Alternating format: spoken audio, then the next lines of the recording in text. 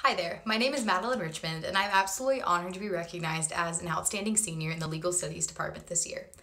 Throughout my time at Indiana State University, I've had countless opportunities and experiences that have helped me grow both as a student and as a young professional.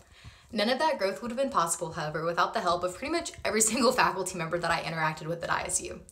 There are, however, two faculty members that I would like to give a special thank you to. The first is Dr. Bob.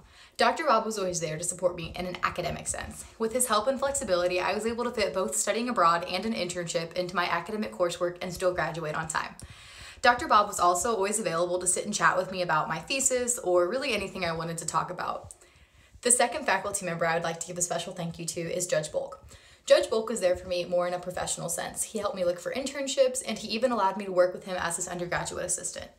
In Judge Bulk's classes, I learned about the legal system, and for me, that really solidified my path to become an attorney and go to law school.